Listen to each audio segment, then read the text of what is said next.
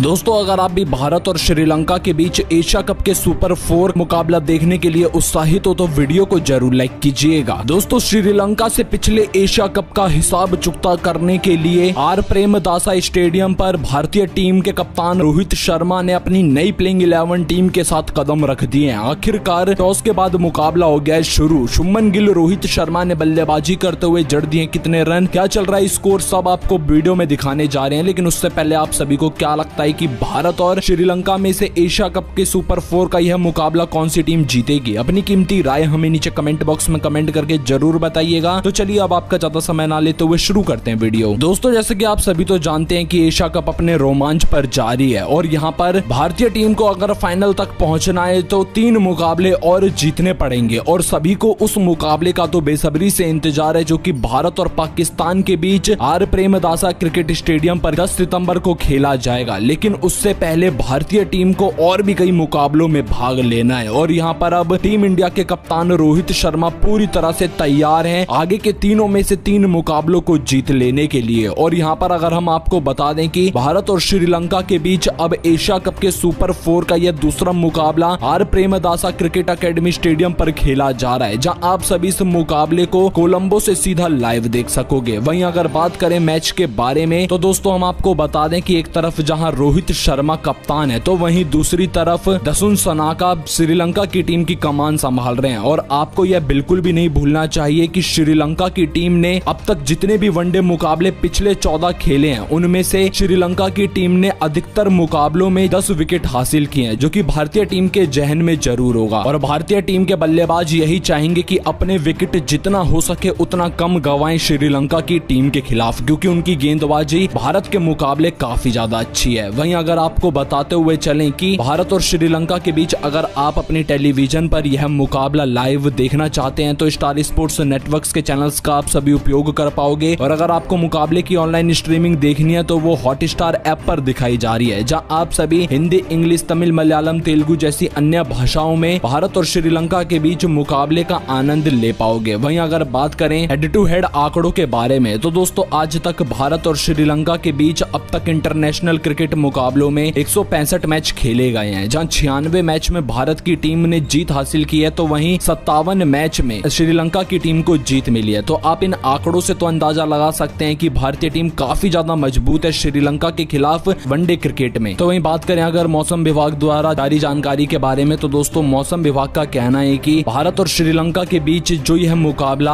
Are Premadasa stadium पर खेला जा रहा है, वहाँ बारिश होने की संभावना लगभग पैंसठ प्रतिशत तक बनी हुई है। और दोस्तों, बारिश इस मैच में खलल भी पैदा कर सकती है। हालाँकि, सात बजे के बाद मुकाबला ज़रूर जारी रहेगा, लेकिन हल्की डुल्की बारिश की संभावना ज़रूर वहाँ जताई गई है। तो जिसके चलते सभी भारतीय यही उम्मीद करेंगे कि यह मुकाबला हम सभी को पूरा खेला जाता हुआ नज़र आए। हालाँकि दोस्तों, भारत की तरफ़ से पारी की शुरुआत रोहित शर्मा और सुमन गिल करने जा रहे हैं और दोनों बल्लेबाजों से शतक की उम्मीद पूरा भारत देश लगाए हुए है, क्योंकि नेपाल के खिलाफ इन दोनों बल्लेबाजों का फॉर्म वापिस आ चुका था और शतक जड़कर यहाँ रोहित शर्मा ज़रूर इतिहास एशिया कप में रचना चाहेंगे। वहीं अगर बात की जाए प्लेइंग इलेवन टीम के बारे में तो दोस्तों पहले आपको हम भारत की प्लेइंग इलेवन टीम बताते हुए चलते हैं। तो भारत की तरफ़ से आप सभी को जो खिलाड़ी खेलते हुए नज़र आने वाले हैं, उसमें कप्तान रोहित शर्मा के साथ पारी की शुरुआत शुभमन गिल कर रहे हैं। तो वहीं फिर मध्यम क्रम में विराट कोहली श्रेष अय्यर, ईशान किशन, हार्दिक पांड्या, रविंद्र जडेजा को मौका दिया गया है। और फिर गेंदबाजी, शार्दुल ठाकुर, कुलदीप यादव, मोहम्मद शमी और जसप्रीत बुमराह संभालते हुए नज़र आ रहे हैं। तो वहीं अगर बात की जाए श्रीलंका की टीम के बारे में तो श्रीलंका की तरफ़ से पथुम, निशंका और दिमुत करुणारत्न पारी की शुरुआत करेंगे। तो वहीं फिर मध्यम क्रम में कुशल मैंडिस, सादिरा, समर विक्रमा, चरित असलंका धनंजय डी सिल्वा, दसुन सनाका, दुनित वालीलेज, महीश तीक्षणा, कसुन रजिता और मथिसा पथिराना खेलते हुए नज़र आ रहे हैं। तो दोस्तों, ये होगी भारत और श्रीलंका की प्लेइंग इलेवन टीम है। बाकी अब आप सभी की क्या राय है भारत श्रीलंका के बीच रोमांचक मुकाबले के बारे में और आपके अनुसार कौन सी टीम है? मुकाबला जीतेगी अपनी कीमती राय? हमें नीचे कमेंट बॉक्स में कमेंट करके ज़रूर बताइए।